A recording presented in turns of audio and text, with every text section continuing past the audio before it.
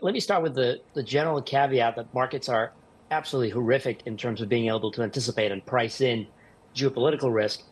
Um, you're absolutely right. I think here at the start of the session, it looks like the worst outcome that could have been possible this weekend was avoided.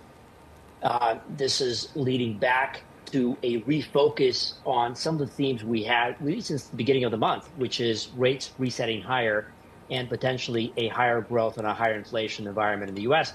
And I feel like markets in general are single cell organisms. We focus on one thing at a time. And it looks like here at the start of the week, we're back uh, focusing on the US rates market.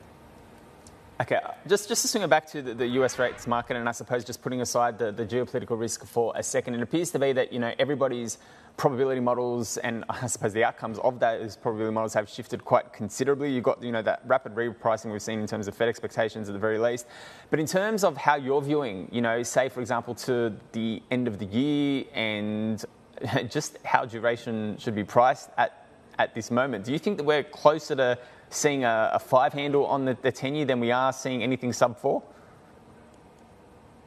Yeah, look, I think if you look at the short term, particularly the next you know one to three months, the probability of the 10 year yield getting back to that 5% level for sure is much higher today than it was at the beginning of the year.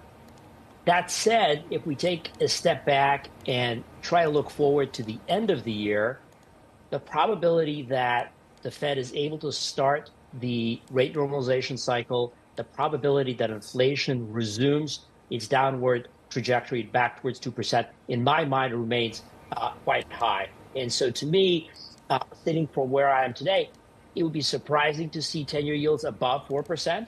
But look, the probability is definitely shifted, and the market at the moment is digesting uh, this higher rate and higher growth environment.